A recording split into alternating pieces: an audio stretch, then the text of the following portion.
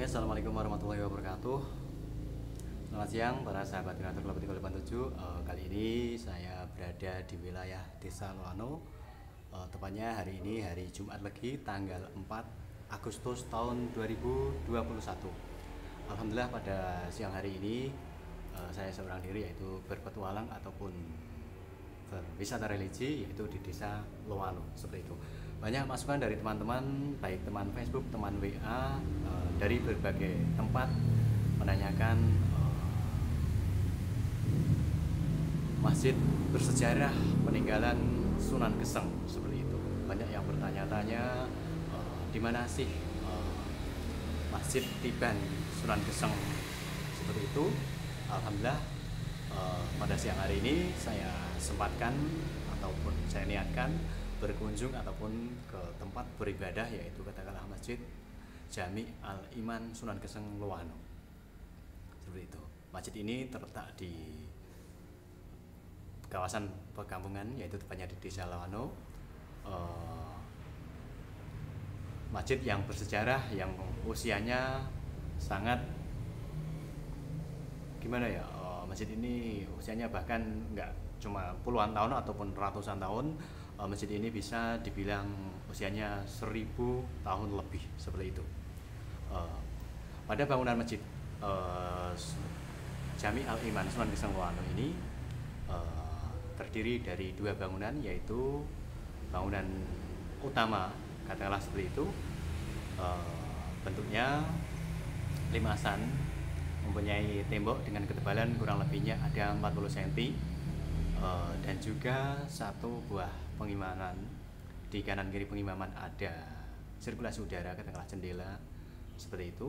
Dan di utara juga ada dua jendela dan di sebelah selatan pun ada dua jendela.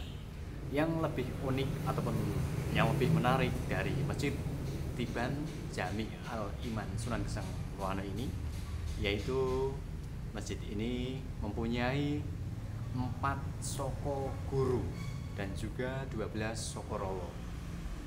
Seperti itu bisa Anda lihat saudara di belakang saya adalah uh, tepat dari Soko Guru tersebut yaitu kurang lebihnya uh, berdiameter uh, 50 cm seperti itu dan juga di bawahnya ada uh, umpak seperti itu dengan warna putih. Uh, dari Soko Guru tersebut terbuat dari kayu jati dengan tinggi kurang lebihnya ada 6 meter. Dan juga untuk Sokorowonya kurang lebihnya ada tingginya 3 meter seperti itu.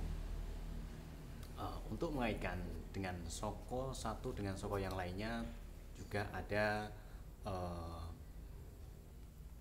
semacam kayak blender kayu semacam itu dengan ukiran yang sangat menarik. Saudara bisa dilihat seperti itu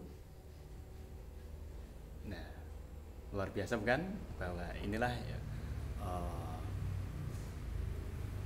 masjid peninggalan Sunan Geseng yaitu yang mempunyai dengan nama Masjid Jami Al Iman Sunan Geseng Loano seperti itu.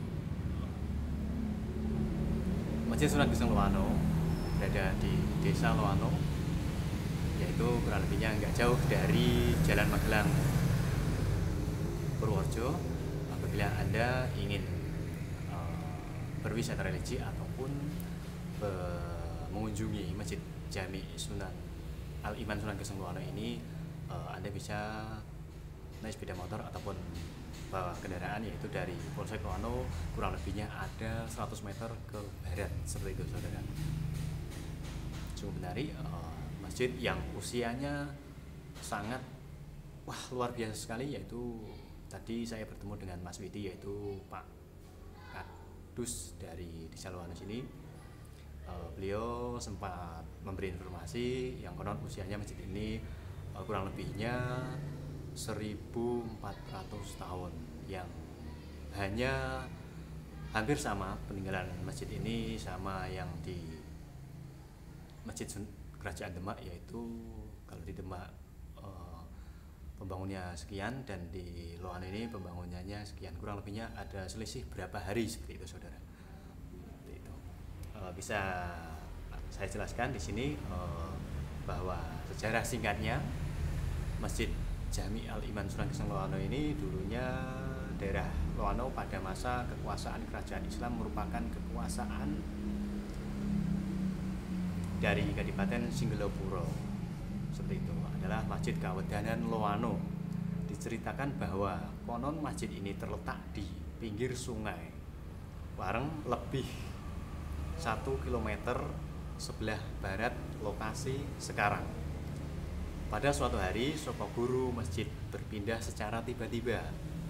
Itu kemudian masyarakat beramai-ramai memperbaiki yang dipimpin oleh Cokro Joyo ataupun Sunan Geseng yang diperintah oleh Yo yaitu Sunan Kalijogo.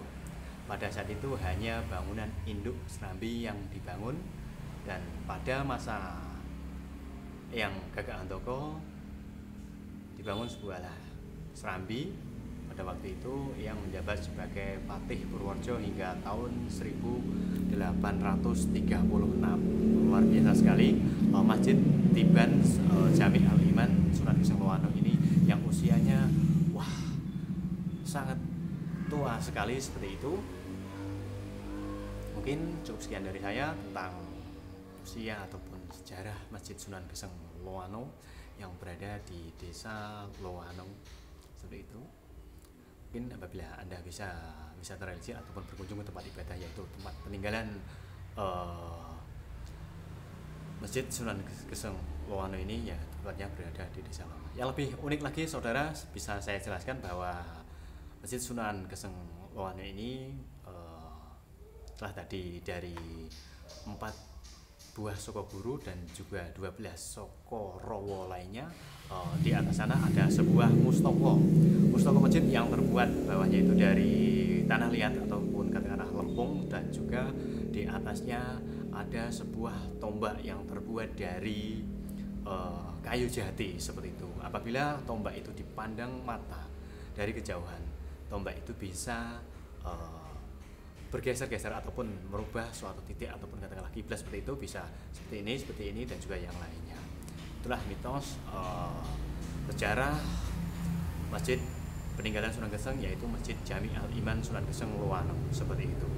Dan uh, mitosnya bahwa masjid ini yang bangunan utama ini uh, apabila ada musyawarah dari takmir masjid mau dibangun atau gimana direnovasi uh, mitosnya ada gimana ya oh, orang gelem direnovasi katakanlah nggak mau direnovasi biar aslinya seperti apa uh, biar menunjukkan keasliannya oke okay? saudara bisa anda lihat nah itu uh, tepat di belakang saya yaitu di pengimaman seperti itu uh, di atasnya bertuliskan lafal tauhid yaitu la ilaha illallah muhammadur rasulullah dan juga subhanallah walhamdulillahi walhamdulillah. Wala ilaha illallah wallahu akbar. Dan juga di bawahnya ada juga la haula wala quwata illa billahil azim seperti itu.